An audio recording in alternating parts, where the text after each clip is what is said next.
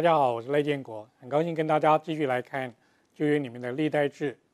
我们上次已经讲到所罗门他建造圣殿，现在呢，我们也要继续看到所罗门他驾崩以后带来给以色列的影响。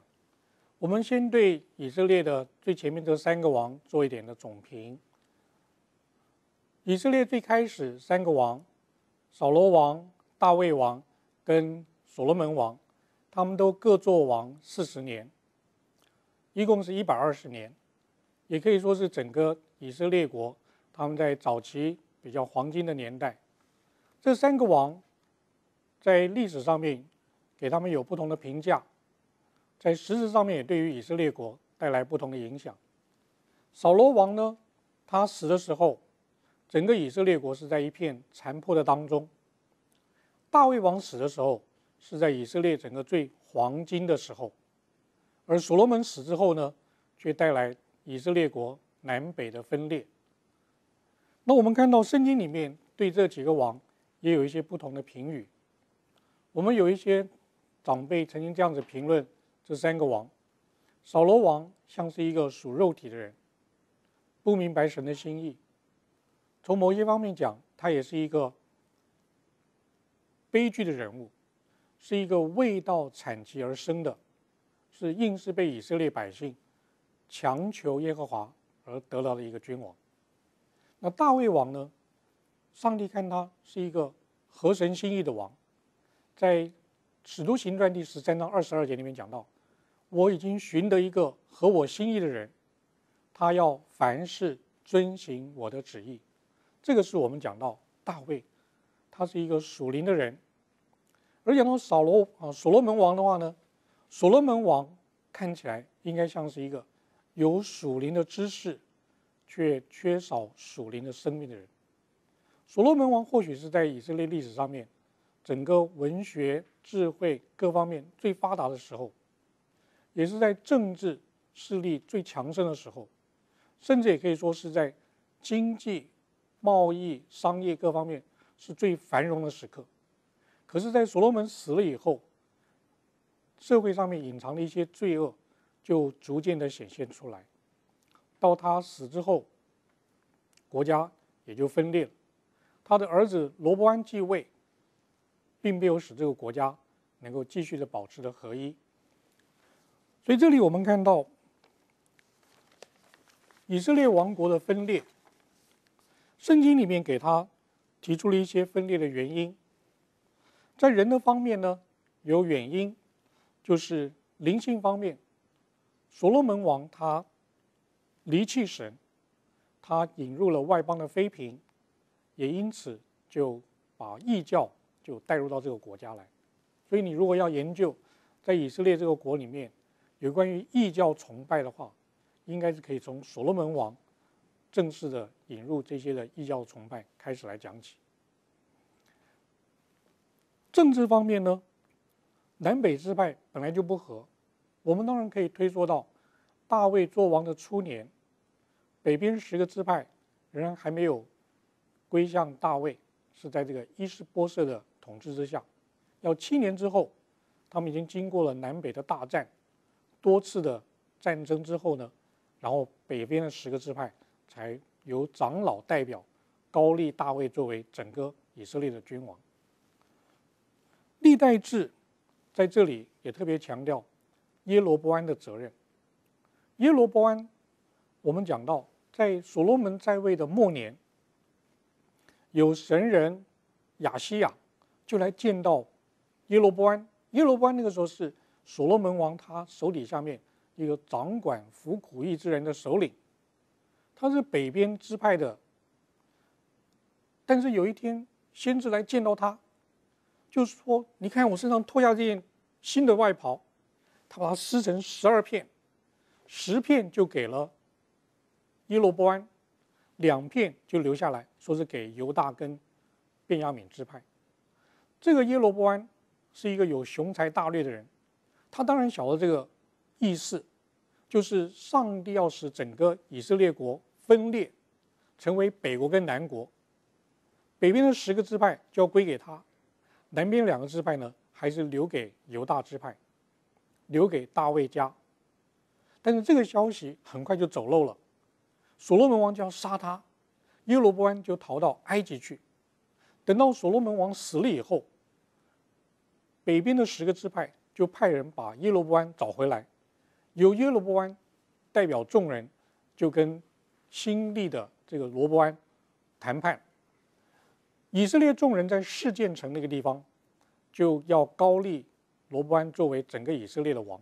但是他们由耶罗波安代表跟他提出条件，在这个所罗门在位的时候，他的苛捐重税、做苦工徭役，带给北边的十个支派很大的痛苦。他们请求罗伯安，如果你减少我们的赋税，减轻我们的劳役，我们就归从大卫家，永远做你的仆人。这个提议，罗伯安知道了。他说：“你们等几天，三天以后来听我的回复。”但是罗伯安在这上面呢，他是做出了错误的抉择，显出他的愚昧。他先问他父亲的老臣：“我应该怎么做呢？”这些老臣就回答他说：“你应该听他们的话，减轻他们的劳役。”但是。罗伯安又问跟他一起长大的这些少年人，这些少年人都是跟罗班一样，是公子哥儿，从小娇生惯养，对于政治上面也缺少那样子的敏锐，没有听到百姓的声音，结果呢，罗班就回答说：“我父亲给你们的徭役，我还要加重你们，你们看我，我的这个小拇指，比我父亲的腰围还要粗。”我父亲用鞭子打你们，我更要用蝎子鞭来打你们。什么是蝎子鞭呢？就是那个鞭子的那个尾巴那个地方，用铁块或者是动物的牙齿当做利钩，打在人的身上，一鞭打下去，抽起来的时候就带上一块肉出来，那是很厉害很厉害。罗伯安以为他比他的父亲还更加厉害，能够用高压的手段。逼迫北边的十个支派就范，哪里想到北边的十个支派，他们不吃这一套，他们就跟罗伯安讲：“大卫家啊，你们自己顾自己吧。”他们就离开了。北边十个支派从此以后就跟随耶罗伯安，变成一个独立的国家，脱离了犹大，脱离了大卫家。社会方面的话呢，我们要看到，其实就是在所罗门在位的时候，已经是。积蓄怨恨已经很久了。我们必须讲到呢，所罗门在灵性上面，他引入了异教的崇拜；在政治上面，他苛捐重税，带给百姓很多的抱怨；而在经济上面呢，表面上看是工商繁荣、贸易兴盛，可是也是想到在社会上面。贫富不均，百姓有很多的痛苦，在这个时候，希望能够休养生息，带给他们一些的安慰。哪里想到罗伯安不肯听，所以静音看到是罗伯安他听信损友之言。但是在分裂的原因里面，第二个就讲到，这事情呢，其实出于上帝，因为所罗门他远离了神。上帝也就远离了他的后代，但是上帝呢，还是因为他跟大卫所立的约，就保守以色列这边，还是大卫的灯不至于熄灭，让犹大跟便雅悯支派还是继续留在南国犹大的里边。现在我们要来看到罗伯安，这是所罗门的儿子。所罗门他的儿子，在公元前九百三十年继位，从公元前九三零到九一三年，在位有二十八年。王国分裂了，在历代之下第十章那边就讲到，罗伯安就来到了世界，在那个地方，北国的十个支派要高立他做全以色列的君王。这个事件，我们要讲到。它是一个历史的名城，为什么选择在这个地方，而不是在希伯伦或者耶路撒冷高利他呢？你记得大卫王，他先是成为犹大国的王，犹大百姓他们的长老在希伯伦那个地方高立大卫做整个犹大国的王，这个是理所当然，因为希伯伦是犹大的重要的诚意。可是大卫到所罗门，一共已经有八十年，以色列国是以耶路撒冷为首都。罗伯安要就位成为新的国王，为什么不是在耶路撒冷城，而是要去事件城呢？很显然，他这个时候国家里面已经显示出来，政局已经不稳了。罗伯安已经感觉到中间有不对的地方，但是他竟然还缺少这样子的政治警觉，还用强硬的话来回答北边的支派。我们讲到这个。事件城，事件城，它在整个以色列历史上面呢，是一个很重要的城邑。事件城在历史上面第一个出现，就是在创世纪第十二章第七节，亚伯兰进入迦南，来到世件，耶和华向他显现，应许要把这个地赏赐给他，亚伯兰就在那个地方足坛献祭。在创世纪第三十五章第四节那边，雅各的儿子们，他们杀了世件城里面的男丁，雅各迫不得已必须要离开，但是他也在世件那个地方，他就告诉他的家人，把我们中间所有这些的神像通通都丢掉，我们身上这些跟神像有关的身上的装饰也通通都取下来，他的家人呢就听从他。所以那边记载说，雅各叫家人自洁，除去偶像，藏在世界那个地方的橡树底下。那个时候，他们这样子做，周围这些邻居都感到很惊惶。事件后来也成为约书亚带领以色列百姓在上帝面前更新立约的地方。约书亚临终的时候。他已经把整个迦南地通通打下来了，也把所有的地业分给十二个支派了，但是终究呢，每一个支派必须自己去把他们所分配那块土地的迦南人给逐出去，建立自己的地业。约书亚在临终的时候就把这些百姓通通都召集在一起，召集在哪里呢？召集在事件城。约书亚记二十四章那边讲到，约书亚就跟这些百姓提出一个挑战。要他们在上帝面前立约，他说：“你们是要侍奉我们的祖先在大河那边的神明呢，还是要敬拜在埃及那边这些神明呢？还是要敬拜我们要进到迦南地，在迦南地的神明呢？”但他说：“至于我和我家，我们必定侍奉耶和华。这个侍奉呢？”不是狭义的讲在圣殿里面的侍奉，这个侍奉呢是讲到广义的，就是我单单敬拜这位独一的真神耶和华。约书亚做了这样见证，其实呢他是给以色列百姓一个激将法。他说：“你们不能够敬拜耶和华，不能够侍奉他，因为你们心不专诚，耶和华就会击杀你们。”但这些百姓说：“不，我们必定要侍奉耶和华。”约书亚就在世界那个地方。跟这些百姓立约。我自己读圣经呢，读到那边，在圣经旁边呢，就记下几个字：一个世代做的正确的抉择，就影响世世代代的人都可以蒙福。你看，从大约是三千四百年前吧，约书亚那个年代，他跟百姓一起在上帝面前立约，选择单单敬拜这位独一的真神，一直到现在呢。以色列还是一个单单敬拜耶和华的国家。在圣经里面，事件这里另外还有一个传统，就是讲到雅各曾经住在那边，雅各跟他的儿子们也在世界那里有一口井。井对于在古代近东这些国家的人是非常非常重要，因为当地呢没有什么河流。就依靠天上来的雨水或者是甘露。另外呢，就是从地里面挖这个井。如果有一口水井，而且是活水的井，那他们就可以牲畜、人口都可以从中间得到滋润。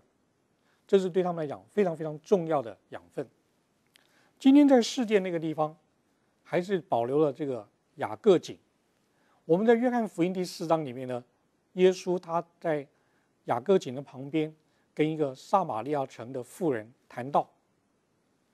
那个妇人说：“你没有打水的器具，这个井又很深，你怎么样子把这个水从井里面打上来呢？”那个井真的很深的。我在一九九三年的时候，跟我的家人一起参加一个圣地的团，来到了事件这个地方，我们也去参观了雅各井。这口井还在，这口井里面还是有水可以供应给大家的这个饮用。特别在炎热的夏天，那口井里面水非常的清凉。今天这个井呢，它上面是有一个礼拜堂，不过这个教堂可能因为建筑经费不足的关系，所以只建筑到这个周围这个外墙的一半，上面还没有办法全部的完成。但如果我们去参观的话呢，就可以到这个地下室，就有见到那口井。那边有一个教会的这个教室在那边看守着。那如果我们在那边递上一些奉献，那他没有特别注意的时候呢，就会允许我们把那口井上面预备的有这个水桶，我们可以用那个绳子坠到这个井里面去打水上来喝。这口井很深，大概呢超过一百英尺深，所以你从上面咕噜咕噜咕噜把那个水桶放下去。以后呢，再打水上来啊，对每一个人行路艰苦的人，能够饮到一碗一杯这个井里面打上了水，那是非常非常快乐。这个事件城它附近还有另外一个传统，就是它是属于以法莲支派的，但这个事件城呢，其实是在两个山之间的那个山谷里边，一边是基利新山，另外一边就是以巴路山。在《生命记》二十八章里边有讲到，以色列人他们进入到应许之地以后，六个支派要在基利新山上面站着宣告耶和华的祝福，另外六个支派呢要站在以巴路山上宣告耶和华的诅咒，遵命就可以得地业、得长久、得平安；悖逆就会被上帝刑罚，被上帝赶逐出去，甚至。他们死在应许之地以外，所以这个事件城它是具有非常非常悠久的历史的传统，它也是属于北国以色列以法莲支派里面重要的城邑。所以这是为什么耶罗伯安哦，他们就要求罗伯安来到世界那个地方，要跟他谈条件。如果条件谈成了，他们就高立罗伯安做整个以色列十二个支派的。国王，如果谈判不成的话呢，国家就分裂了。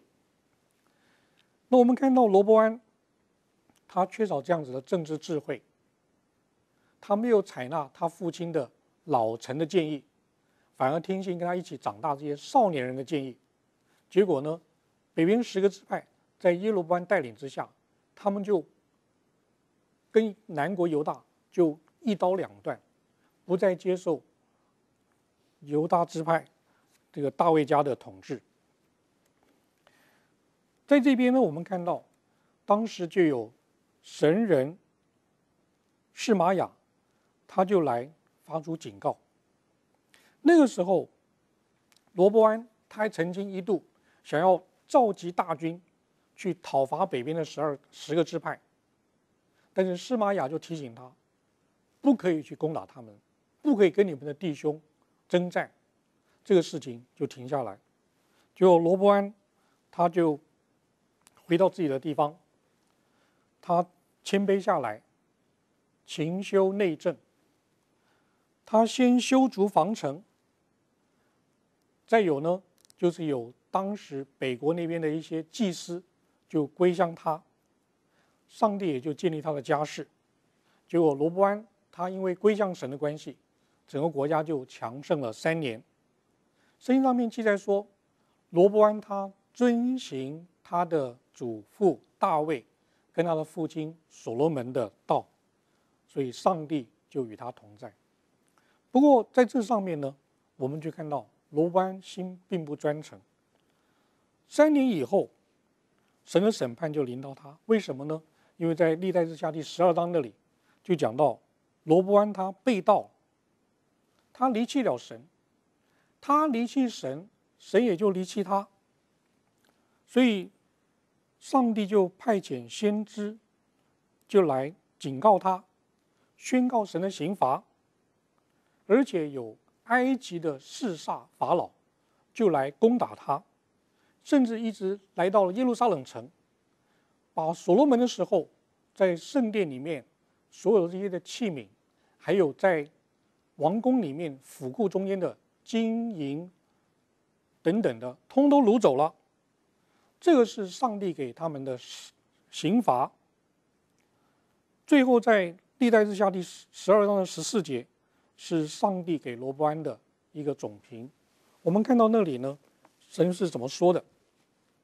在历代之下第十二章第十四节，上帝就评论说：“罗伯安行恶，因他不立定心意寻求耶和华。”你看，罗伯安其实开始还算不错，他遵循他的祖父所罗啊大卫跟他的父亲所罗门的道，但是后来呢，他就离开了。所以他做王十八年，起初不错，但是结尾并不是很好。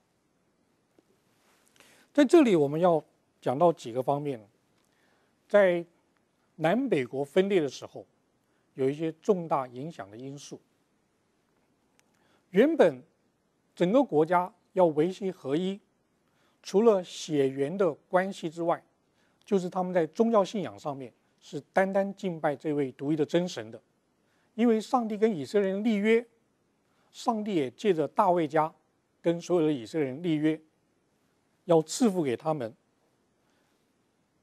大卫的时候预备建造圣殿，所罗门的时候把圣殿建造完成，圣殿就变成维系全国合一的一个重要的精神。可是耶罗波安跟南国犹大的罗波安分裂以后，耶罗波安就知道，以色列人按照律法上面的规定，每一年要有三个节期到耶路撒冷来。朝见神，如果每一年他们都到耶路撒冷去朝见神，他们的心不是就归向了南国犹大吗？所以耶罗波安就想到一个办法，他想要用釜底抽薪的办法，改变北国以色列人他们的宗教信仰。他用宗教手段，希望能够来达成政治的目的。他做什么呢？他第一个在北国以色列。两个地方建造了金牛犊，一个在北边的但，一个在比较靠近南国犹大的边界伯特利那个地方，设立了两个金牛犊。其实金牛犊在以色列历史上面啊，曾经在以色列人出埃及的时候带给他们很大的灾难。他们曾经造过金牛犊，险些酿下大祸，上帝要把他们给完全灭绝掉。那次是因为摩西的带导，他们才能够存留下来。哪里想到，耶罗波安，他为了达成政治的目的，竟然用这样子的手段，又是造了金牛犊。上帝的愤怒就临到他。第二个呢，他立凡民为祭司，为什么呢？因为北国那边原本山区各地有一些祭司，有一些立位人，他们不认同耶罗波安的方式，或者反过来讲，耶罗波安不准他们来敬拜侍奉耶和华。把他们赶逐出去，他们就离开了北国，来到了南国犹大，在耶路撒冷那个地方，他们继续去侍奉神。这些是我们看到有一些的信仰的移民。我们在历史上面也看到，好像五月花号带来一些清教徒来到了北美。九幺幺事件以后，也有一些移民，他们就从中东的地方，他们就逃出来。来到了北美的地方，前两年有这个茉莉花革命，北非、中东一些穆斯林的国家，他们的百姓呢中间有一些是原本信耶稣的，他们也就逃到了北美的地方，或者像加拿大的多伦多，那个地方有好多埃及的基督徒，他们是科普蒂教会的，他们在那个地方就建立起新的移民的基地。